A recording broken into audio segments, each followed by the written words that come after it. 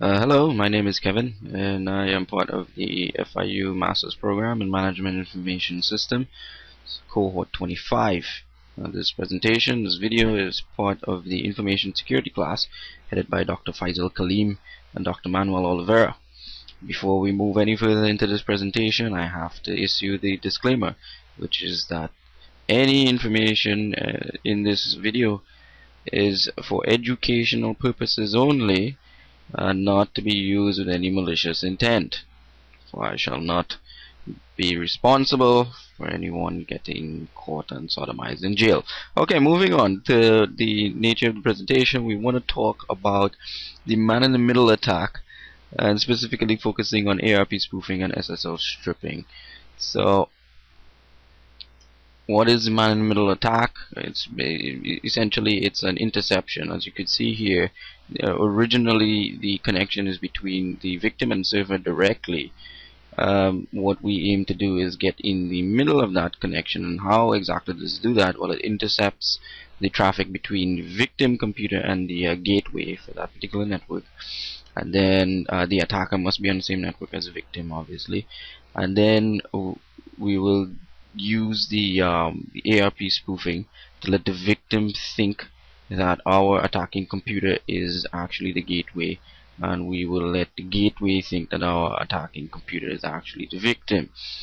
Uh, we will be using uh, what they say as the Swiss Army knife of security professionals backtrack 5 to perform this attack and we'll be using something called SSL strip you see just a little bit of details about SSL strip website thoughtcrime.org essentially how it works intercepts all web traffic and strips any SSL traffic it encounters. Um, victim communicates with an attacker with the attacker over regular HTTP and the attacking box communicates with the server over regular SSL server does not know the difference. Why is this important? Well this is important because a lot of secure communications are done over SSL, secure sockets layer. Just a little, another il illustration here as to exactly how SSL strip works. It would watch as HTTP traffic goes by. Any references, any links to HTTPS, it switches it out and keeps a, a map of, of links that it switches out and uh, sends that to the victim computer and so the victim communicates in uh, HTTP uh, the reason I, I chose this particular attack it's it, is that it it doesn't have as much physical interference required. Uh, it doesn't require uh, any phishing of any kind.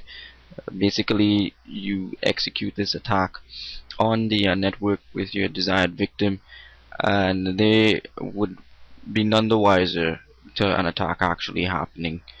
And we will actually demonstrate how this would work uh, all the victim really has to be doing is just just browsing the internet as normal or just log into their particular um, you know websites whether it be banking email or Facebook and we would be able to intercept that traffic uh, retrieve the passwords hopefully in this demonstration and all without their knowing all without them uh, actually experiencing any um, delays or denials of service or anything like that you know so should be uh, the, the victim should be oblivious to what would be happening to them. And, and that's why I chose this particular attack. So without further ado let us move into the demonstration and portion of this video. Okay, so we have Backtrack 5 up and running here, and in this particular setup I have it running as a virtual machine, and um, it's running on my uh, my Windows host. So in this demonstration the backtrack 5 uh, virtual machine will be the attacking machine and the victim machine will be the host the virtual machine host which is my Windows 7 machine. As I said before uh, these two machines need to be on the on same uh, network. So uh, what I did is um, in in my setup of VMware and my setup of this particular virtual machine I had the network adapter set to bridge mode. So it will actually share same physical connection but appear as two computers to my uh, my my gateway my my home gateway here. So as you can see the uh, internet address here is uh, 1.82 and if we were to run an IP config on our host which is our victim you'll see 1.70 1.254 is the uh, gateway. Uh, this tells me that therefore these two computers are on the uh, same network so now that we have that set uh, the first step that we want to do is uh, set up a route in the uh, IP tables. And this route is gonna is gonna take any traffic traveling on port 80 and redirect to a, a port of our choosing. And this port of our choosing will be the port that SSL strip is listening on. Purpose of this is to have um, any and all traffic uh, go to SSL strip so SSL strip can do its uh, do its thing and we can then analyze the, the information and data. So I have the command uh, here in my little uh, notepad from my previous trials and then I don't like typing that much. So you know plus it's a pretty long command. So I just copy and paste it. It's easier. You don't want to see a video of me typing anyway. So IP tables, table NAT, pre-routing, protocol TCP destination port 80 which is web traffic we're going to send that to port 10,000 that's the port that I want to send it to. That's SSL strip default port. So once you have that there and then if you want to view it you're in IP tables uh, the list table NAT and you can see that the um, the routing rule is set up here. So now we have that set up um, next thing we want to do is run SSL strip so uh, there's two ways we could do it I could just type it in the uh, command line here but you know to find it applications backtrack information gathering network analysis and then SSL analysis SSL strip we'll uh, open up uh, another terminal here which will show you uh, some of the command line arguments that you could use with SSL strip. I particularly like the uh, K which will kill all the uh, sessions in progress, any SSL sessions in progress, uh, it will kill it. And then the favicon uh, dash F, I like that one as well because it actually uh, puts a little padlock as the favicon. So um, to the unsuspecting victim, it probably would even seem like an SSL page, but it actually won't. So we're just gonna run SSL strip you can tell it to listen on port 10,000 and that's up and running.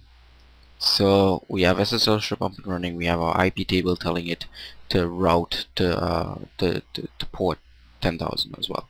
Any any traffic on port 80 routed to 10,000 so that was the difficult part. The other part now is to actually run uh, the man-in-the-middle attack and to sniff some packets.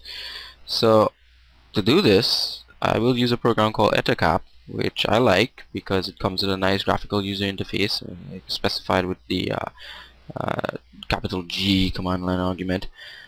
And uh, it's it's a, it's a, almost like a Swiss Army knife of sniffers, really. And uh, it automatically sets adapters into promiscuous mode if I so define it. Uh, we're to do sniff and then unified sniffing. And interface is going to be Ethernet 0. And from here, we're going to do just this uh, scan for hosts. Now, this is particularly um, helpful if you don't know the IP address for the uh, host that you want to attack. A lot of times, it's you know you might be able to know it uh, offhand. In this case, we do, uh, but sometimes it's it's it's it's it's better to um, to just do a scan and then bring up the uh, host list and then you see all the IPs here that are part of this network.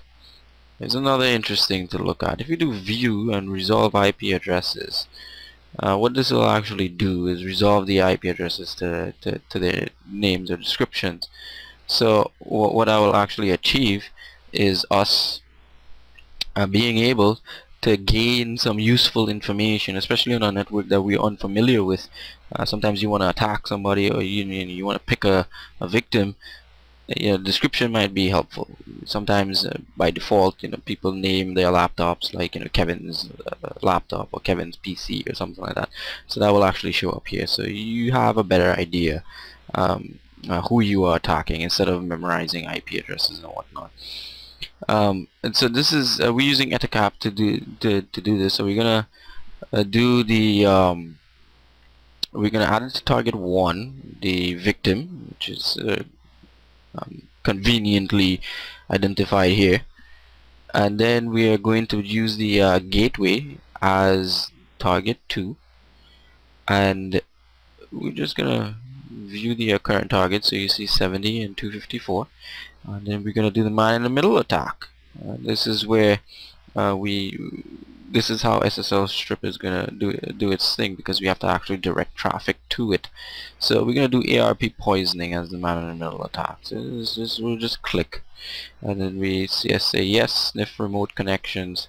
Uh, we don't just want to do it one way we want to do it two ways so we leave that unchecked.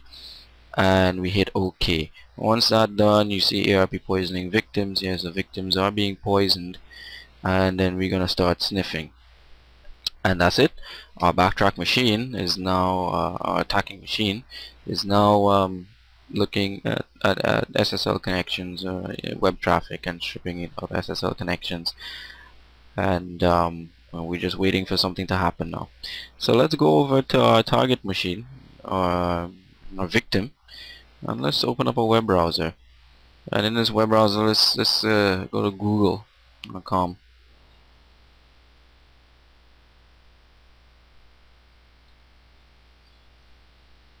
so as you see it goes to the uh, to the internet. Fine. So let's uh, let's go to hotmail.com let's check check some email.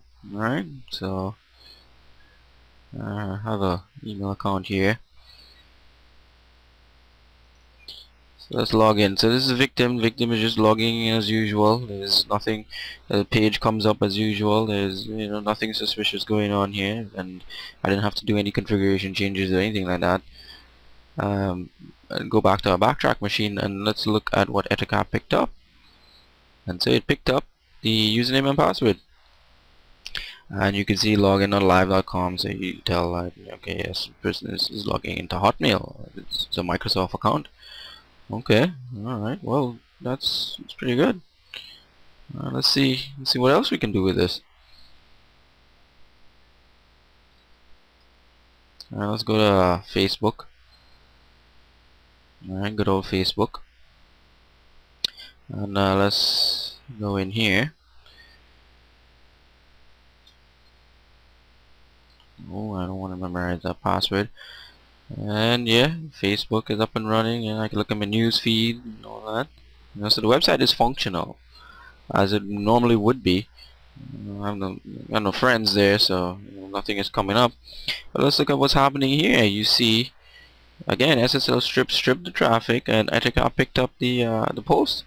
And now you see uh, the username and password and facebook.com so there you have it. That's that's how you um, you use SSL strip to strip the uh, particular uh, secure connections and uh, to sniff out the uh, passwords. The reason I like this particular attack is is that uh, it, it's unknown to the victim. Victim does not know that this is happening to them. Uh, the victim just uh, is browsing the web as normal. As you can see the internet is running perfectly fine. And um, but we, we're actually sniffing the uh, connection. We're actually spoofing the, the, the, HTTPS connection. Um, so therefore in conclusion one of the things uh, that I, I, want to point out is how do you defend yourself against uh, such attacks? Uh, you can as you can see you know it was very easy for me to pick out IP addresses you know it's very easy for anyone sitting in a in a, a Starbucks somewhere to um, to, to run such an attack and spoof addresses and the and, and you know someone may be oblivious to it. So how do you prevent or how do you spot such uh, man-in-the-middle attacks uh, aside from doing uh, you know ARP-A in the uh, command line to look up to see if you're being spoofed or whatever the case is? Um, well one of the things is I, I want you to, to, to make special note here is that you will see here it's just www.facebook.com if I were to go to Hotmail you see it's just login.live.com and I I, I think Gmail might mm, connection was reset. And this is the thing SSL strip is actually hit or miss when it comes to, uh, to, to Gmail. I don't know why. But it works with uh, with everything else. But this is what I want to, to, to make note of uh, actually the HTTPS so I'm going to shut down the uh, backtrack machine. So it's no longer spoofing anything. So it's, it's we're, we're, no longer sniffing any passwords or anything like that. Um, and I want uh, want you guys to look at what what the difference is. So man in the middle attack has stopped alright so and then um, we're gonna just stop our SSL strip here. So we're no longer the man in the middle everything should be fine. So we're just gonna open up a browser again in um, in our host in our victim machine uh, google.com as you can see even though I stopped the attack it, it still goes to the uh, internet just fine. Uh, let's go back to our facebook.com uh, actually bad example. Hotmail.com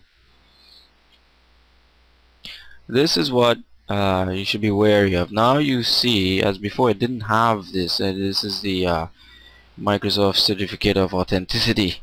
And then you see it's HTTPS so this is how you know that this connection at this point is is secure. The connection is, is not being spoofed.